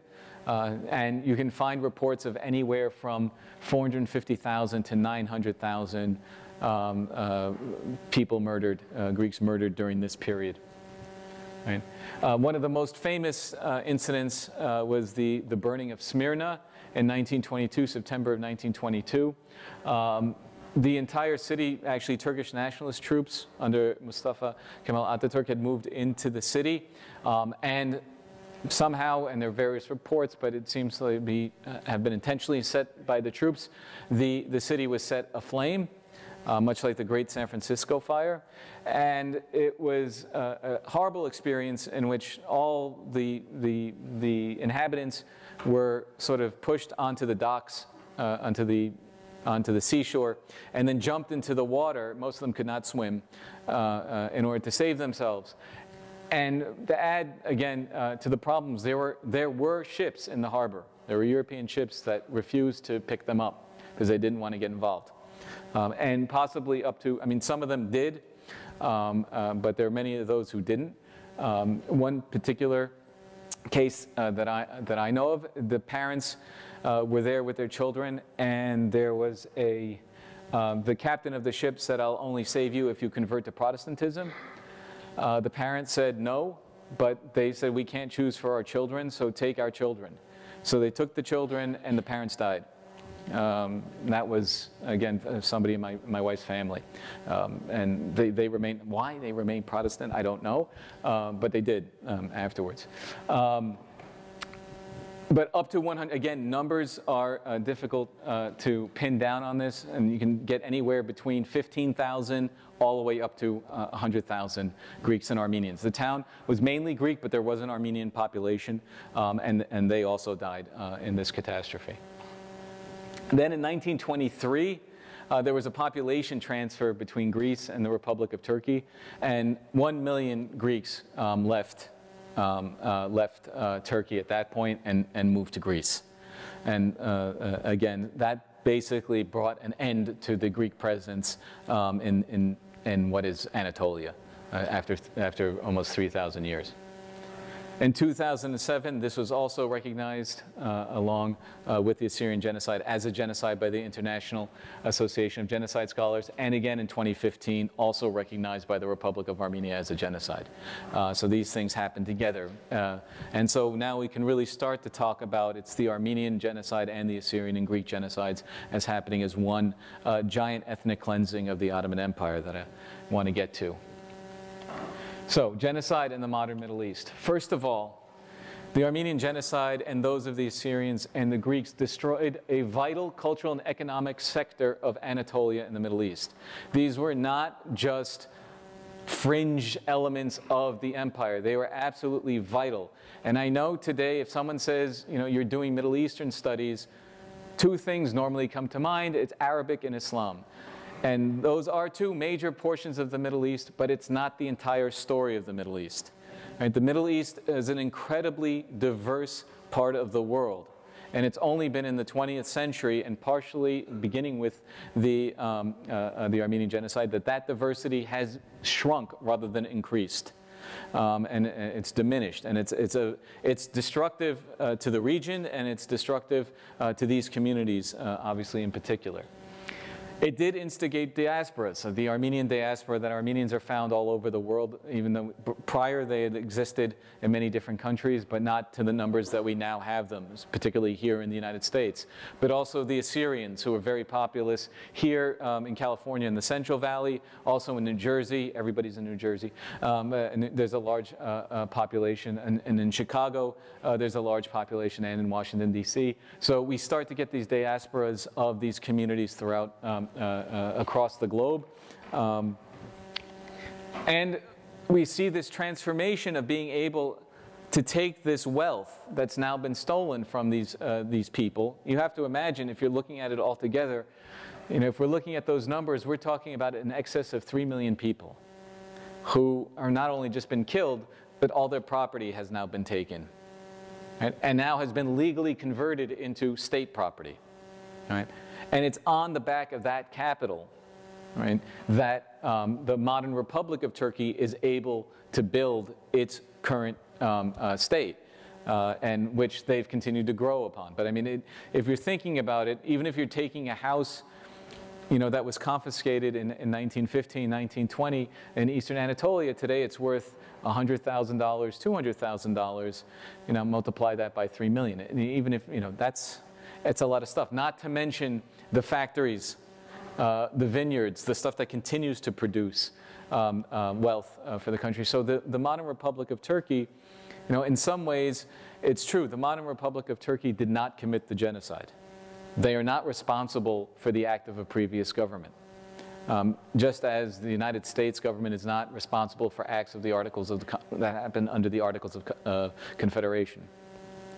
However, you also can't deny that large parts of the Republic of Turkey are based upon or built upon this legacy of violence and bloodshed, ba based upon the back of the genocide. And many of the people, uh, even though the top three were condemned to death and executed, many of the people who took part in the genocide went on to have very successful careers um, in the Republic of Turkey, serving within um, many of the cabinets um, and in heading uh, important posts um, uh, within the government itself. And as I said earlier, the, the, the Armenian genocide and the genocides of the Assyrians and the Greeks began a process of ethnic cleansing of the Middle East. And I sort of said that this um, comes down even to this day right? The destruction of communities and cultural artifacts. This process has not ended. The closing of World War I did not end the genocide and the, and the ethnic cleansing of the Middle East. This happened last year, not even a year ago. A destruction of a 5th century monastery in Syria known as Mar Elian by ISIS. All right. Um, and so we're, we're seeing the continuation of the destruction of these communities, the survivors um, throughout the Middle East. The Christian population of the Middle East in general has plummeted uh, dramatically over the past uh, hundred years, uh, whether through uh, murder or through um, emigration. Right? Um, we can also talk about the Nagorno-Karabakh conflict is a direct descendant, as I mentioned before. It currently is a hot zone of the world um, in which uh, the, the, Republic of Nagorno-Karabakh um, is fighting uh, the Republic of Azerbaijan. Uh, right now, they're not in, I mean, they're in active conflict in that there are still shots uh, on, the, on, on, the borders between the two of them. It's not complete and total utter warfare, uh, but it can explode at any moment. Um, and uh, this is really um, seen by Armenians and presented um, by Azeris as the completion, right? The, they need to finish what was started in 1915 by getting rid of this Armenian population uh, in Nagorno-Karabakh. And here what you see, and it's not very easy to see, um, but is the destruction of Armenian tombstones and khachkars, cross stones, uh, one of their um, uh, traditional forms of art, in the area of Nakhichevan. As I mentioned that at the beginning, that was the area that's not joined to Azerbaijan, but is still found within the Republic of Azerbaijan. And uh, this happened in 2005. Um, thousands, tens of thousands of these, um, uh, of these tombstones and uh, cross stones were destroyed and grounded up into uh, powder for cement. Uh, and they denied that it happened. And actually, um, a group out of the Smithsonian pioneered a new way. It's called geospatial mapping for the protection of human rights. And normally it was going to be used for, if I, if I remember correctly, it was normally going to be used for trying to uh, see how people were being moved, forcibly moved, and tracking them using satellites. But they realized they could also look at, at um, uh, cultural heritage monuments. And the first test case actually were these khachkars in, in, in, in these crossstones in Nakhichevan uh, that were being destroyed. And they were able to prove uh, that a, a, crime against humanity in the destruction of a cultural heritage had indeed uh, uh, taken place. Uh, and, and so, you know, it's still happening.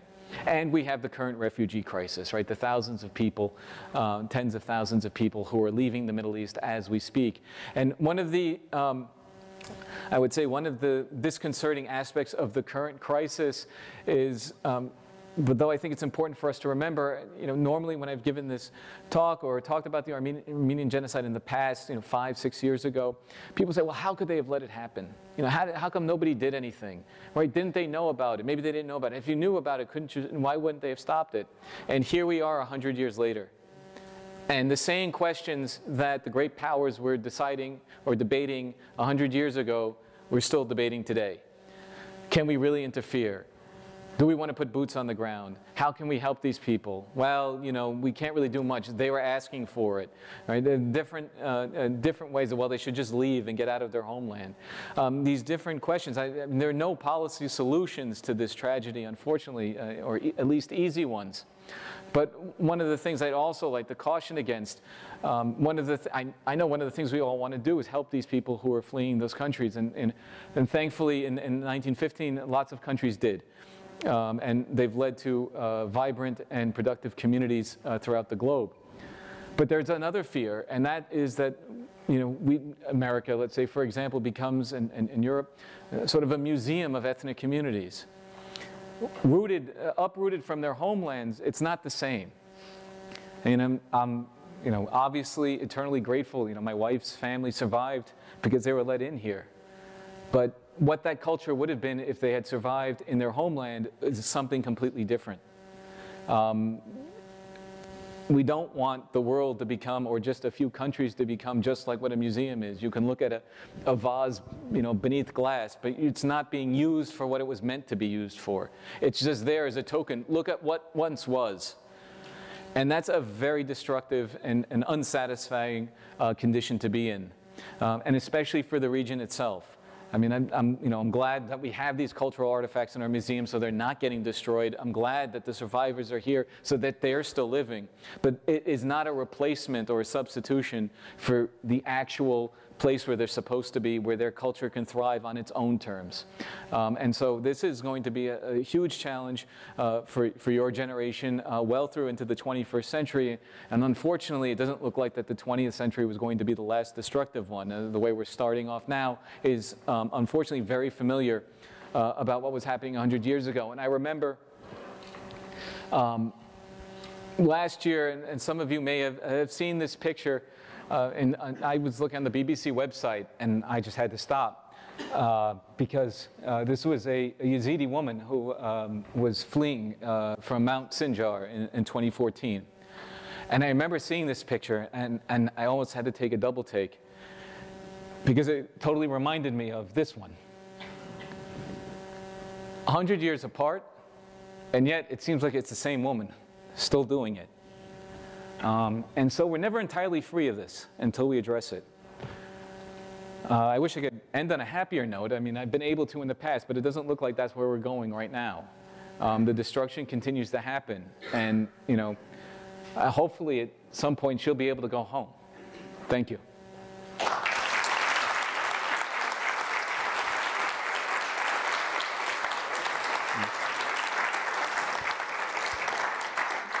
I'm happy to take questions from anyone in the audience if I can answer them. I don't know. I know you said that a lot of the Armenians left the U.S. and went to New York, Chicago, things like that. Um, why are there large proportions of Armenians in Fresno and Glendale? Okay, I can. Glendale's a whole different thing. I mean, that's a different universe.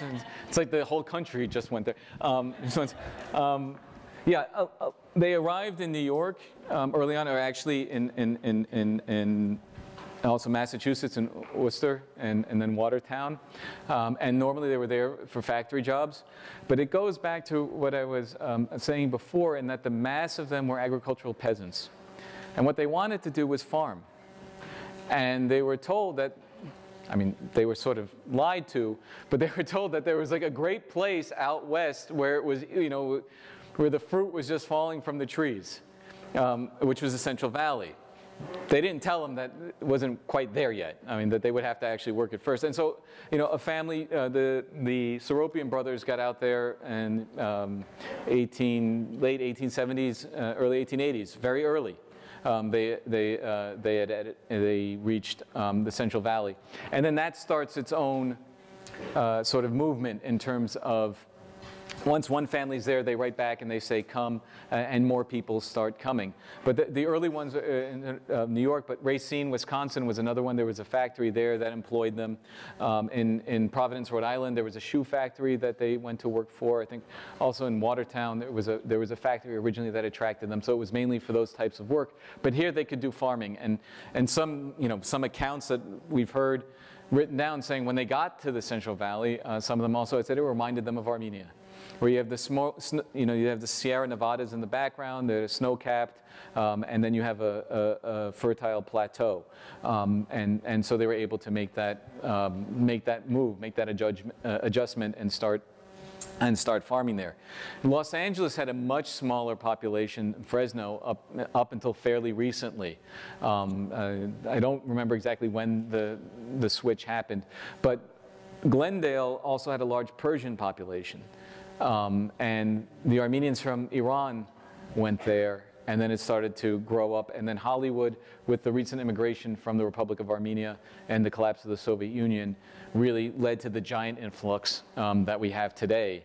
In which, I mean, it's great. I, mean, I can go to like parts of Armenia. I don't. I don't have to use English. I can go get gas, go to the grocery shopping, buy clothes, and do it all in Armenian. Um, it's sort of strange, but um, it, it's- it can also be a lot of fun. Yes.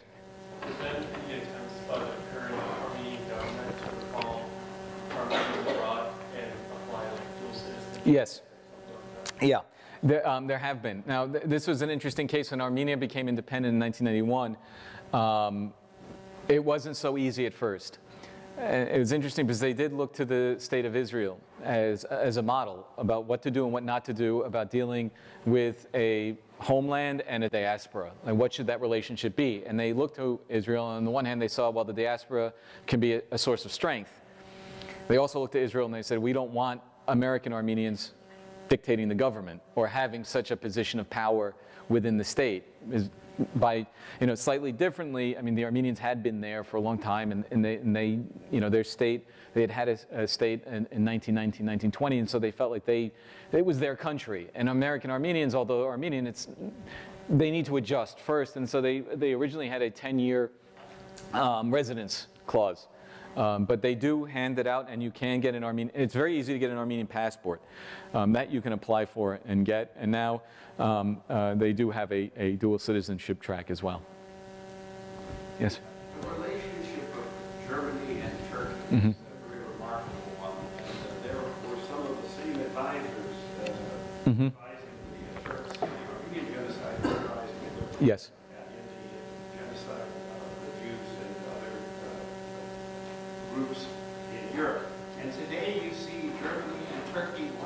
In uh, secret meetings in the fate of the Kurds Yeah. uh, by. Would you comment a little bit on that? Sure. Yeah, I mean, the, the relationship between Germany and Turkey has always been an interesting one. I mean, it- It's fraught.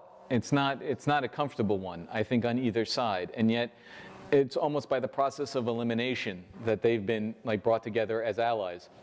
And the original, I would say, the original reason why Germany got uh, involved with the Ottoman Empire was because the rest of the world had been colonized by France, England, Italy, well, Italy very little, Ethiopia, right? They, they, they took up Ethiopia, but France, Italy, Holland, Spain had gotten all the prized territories. So there was nowhere, but you know, in order to be a Western European power, you had to have colonies, right? It, what are you if you're not enslaving and exploiting groups of others? You can't call yourself a country. Um, and, and so they, they looked around and they said, where can we go? You know, they're they sort of landlocked. Um, they, they don't have a huge navy that could go out and take over places. Oh, the Ottoman Empire. Look at that. They're on the verge, right? They're not as strong as they. So we won't colonize them, but we can create this sort of colonial attitude towards them and that will bring them, will will train their military. And that's one of the important things that Germany did do was update their, uh, the, the Turkish military, build the railway in order to um, uh, uh, to increase transportation, and that they could then have these, they could fulfill this dream of being uh, a sort of empire themselves through their involvement uh, with, the, uh, with the Ottoman Empire. But you could tell that they were not always comfortable with this, and the Armenian genocide was one of those issues because people in Germany um, and, uh, were not um, sort of into this idea that, the, that the, the, the Ottoman Empire was going to eliminate the Armenian population. And there was a huge debate, um, and there is currently a, a, a German scholar who is working on this. Stefan Ihrig, he's put out uh, uh, two books already on this issue, uh, and he's producing articles on it about really the, the debate over the Armenian genocide in the German press. Um, traditionally, I was told that the, the, the, the German government tried to keep it silent from the uh, German people because they, they were afraid that if the German population found out that they would um, want to break off the alliance and that would be too awkward to do at that moment um, in the war. Um, I think Stefan is sort of challenging that model and, and, saying that they didn't, it wasn't as un unknown as people would like to pretend it was. Um, uh, and so uh, that's another interesting aspect of it. Um, but they, they did have this uneasy relationship, and many of the, uh, you're correct, that um, there were many German soldiers who were present during the genocide who later on uh, in World War II wound up being the heads of concentration camps uh, of the Jews. And according to their own testimony, they sort of built on the experience that they had had uh, in, in, the Ottoman Empire. Now, with the current situation uh, going on, obviously, you know, that alliance, despite uh, you know, history, has maintained itself, and Germany is the, I would say, the premier spot for, uh, for Turkish um, immigrants. Now, who, somebody brought this up to me. Who in Turkey wants to emigrate? I mean, if you're thinking about it, I mean, Kurds. And so we have a different problem in Germany too, that we don't actually know who the Turkish immigrants are. That is, they may not be Turkish in the sense of ethnically Turkish. I mean, they're probably not from uh, Istanbul, and the, they're obviously not from the upper middle classes. Those are not the people who are moving out there. It's normally the disenfranchised and the people looking for work. And Germany does not actually have a accurate number on this. It does not distinguish between different members of the, uh, of the Republic of Turkey. So it will not distinguish if you're from Turkey, you're Turkish, you're a Turk. So if you're an Armenian who moves there, if you're a Kurd who moves there, if you're Alawi who moves there, if you're Arab who moves there, you're a Turk. Right? And so when the numbers of Turks in Germany talk about, it's sort of unclear what exactly they mean. But the, the, the current position, and, and, and, in particular, I think you're referring to the, the refugee crisis, and, and, and I, I, presume you're talking about with Angela Merkel's wanting to let these people in um, uh, um, so open-handedly, whether this was an overture uh, to Turkey to, to, uh, uh to help with their own population uh, problem. I don't have any uh, sort of information on that particular aspect of it. But it is, you know, it, it's, right now, it's very complicated because on the one hand, Turkey is a U.S. ally, um, and technically in this fight, Russia is a U.S. ally against uh, ISIL. And yet we also see Turkey, Saudi Arabia, Russia, Syria, all taking advantage of the confusion to eliminate their own internal enemies. So the, everyone says they're fighting ISIS, but the Turks are, you know, bombing Kurds, right, in, in, in, in areas that, that are controlled by the Kurdish elements. Russia uh, similarly is saying it's bombing ISIS, but they're, you know, killing uh, members of, uh, of the people's, uh, the Free Syrian Army. The Free Syrian Army says they're fighting um, um, um, uh, Assad, right, and trying to get rid of them, but they're also going around killing Armenian Christians because they know that the Christian population is heavily dependent on Assad. All right, so everyone's using this as an excuse to kill the people that they want to see eliminated. And, it, and it's a very dangerous um, situation as you can see, because everyone's also crossing lines. I mean, it, it's not very clear who, who the enemy is anymore, um, since everyone is potentially an enemy. And, and the end result again, is this continued process of, uh, uh, of ethnic cleansing in which we're going to wake up and then all of a sudden we're going to see that the Middle East is just a fraction of what it was. I mean, already we have no idea what it is. Syria is pretty much gone. Iraq is sort of gone. Um, you know, Jordan is teetering um, uh, very precariously with the influx of Syrian refugees. I don't know how much longer it's going to be there. Egypt is existing with a, di a, military dictatorship, which on the one hand is repressing its own people, and on the other hand, stopping a certain revolution that would also be oppressing its own people. So it, it, it's, it's, uh, there's no, there are no good options uh, in that way, and we, it seems like all we can do is wait and see what happens when the dust settles. That's not much of a, of a policy um, uh, to have. Um, but there's also, it's very unclear what right now the right thing to do would be. So, you know, I'm, I'm not sure I'm answering your question at all, or, but um, I have to like plead at some sense, I wish I knew what was going on. You know, it's just, it's, it's, it's very, very chaotic. Um, and I don't think anyone's telling the truth at the end of the day anyway. Um, in the back? Oh, sorry.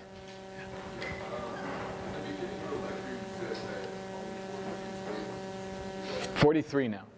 Yeah. Mm-hmm. Which of the seven?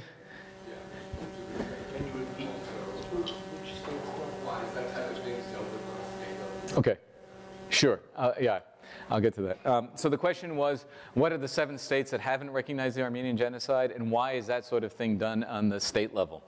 Um, I can't remember all seven. I'm trying to picture the white because I don't remember all 50 states. Um, yeah, I know it's Texas, Wyoming, Iowa, Indiana. No, is it Indiana? Yeah. And there are two others I can't remember. I mean, on the whole, they're states that don't have large Armenian and vocal Armenian populations. Not that, that, I mean, um, on, on the whole. Though Alaska also recognizes it, although they don't have a large um, uh, uh, population of Armenians either. It'd be interesting. I think there is one. But um, yeah, why it's dealt with on the state level is because the US government has not been willing to um, actually recognize it um, as, um, as a genocide. Um, and since it hasn't officially done it, what's happened is that it's devolved to the states to pass these sort of local uh, recognition policies, and that allows the U.S. government to say, okay, as I said, well, the United States as a federal entity doesn't, but you know, 43 of the 50 states do. So it gives you like a way out. You know, obviously in places like California, where there's a huge um, Armenian population, um, you know, it was you know, impossible not to do, um, especially once you, you realize that um, the, the federal government was not going to do it. And the reason why the U.S. government doesn't do it, I mean, is manifold. Um, the, one, one, of, one of the reasons, obviously, is that Turkey is a NATO ally, and they threaten uh, to, um, to, to, to, actually um, go against our interests if we do. Uh, when France uh, recognized the Armenian genocide, uh, Turkey cut off relations with them. They reinst reinstated them after six months, but at this point um, in, in history when so much of our natural resources, I mean, so much, I mean, our oil um, and uh, our uh, political uh, capital spent in the Middle East, um, it seems foolish from their perspective to antagonize an ally. Having said that, Turkey refused uh, American, uh, uh, refused to allow America to launch uh, airstrikes from Turkish bases in, during the Iraq War. So I don't know how much our silence and complicity and denialism is really helping us in any real way. Um, there, there are other sort of less, I would say, you know, realpolitik, which is like, well, it's not up to the United States, you know, it's not the United States government's, you know, policy to decide what is ultimately a historical question, right? We don't have sort of um, re um, resolutions that recognize any other historical fact, you know, that you may, you know, 1492, Christopher Columbus left, you know, we have a resolution, right? Or you know, any, any, any sort of other fact. So why do we need it? I mean, the response to that one obviously is this because someone's denying it. I mean, it's become a politicized issue precisely through the denial. I mean, ideally, you, didn't, you don't need a genocide recognition by the United States government, right? Everybody recognizes it as such, um, and the countries involved um, uh, operate accordingly. There's no need to, to have this sort of drive for international recognition. It's just a fact. But because there has been such a program of denialism on the part of the uh, Republic of Turkey, including you know, the co-option of American academic institutions, founding positions where their people get jobs, um, you know, denying visas to researchers who may actually say that the genocide happened. I mean, I, have known that to happen to colleagues of mine. They're not, they're not even studying the issue, but they came out and said something on it and they were denied a visa.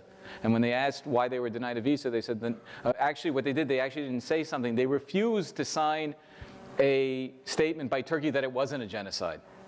Right? They didn't sign one that said it was, and they said they're not going to take an issue, they're not going to take a position. And, they, and basically the, the consul said to them, the next time we ask you to sign something, sign it. Um, so, I mean, there is an active um, denialist program. And that's what's put the pressure on, I think, getting the United States to recognize it. Um, Ronald Reagan and George Bush have talked about the Armenian genocide, um, but not in an official context.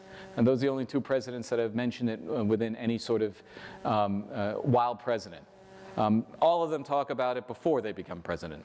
It's a big thing. When they're, when they're in California, you think they, you know, did Armenian studies as a minor um, in college because they're up, up and down talking about it, and all of a sudden, you know, it's like they cram for the test, and a week later they forgot everything they learned because, you know, the minute they get to the White House, it's like, what? Who?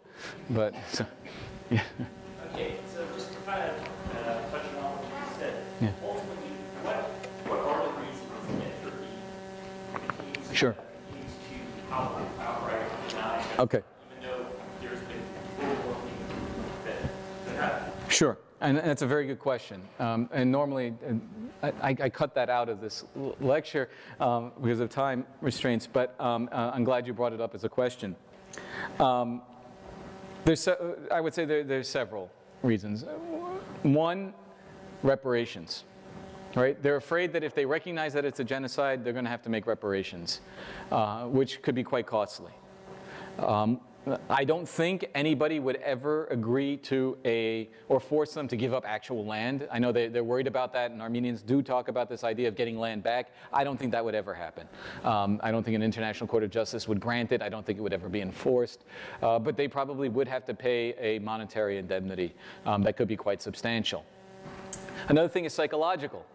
Um, they truly don't think that their grandparents committed genocide. It's not easy, especially you know, if you've been brought up that this is a lie, right? That the person who you know you remember fondly as a, as a child, right? Oh, you know, your nice grandfather there who's picking like an, uh, an apple from a tree and giving it to you, you know, butchered, you know, 20 people in the past. It's not that that's a tough uh, a, a tough call to make. So I mean, there, there's the psychological defense.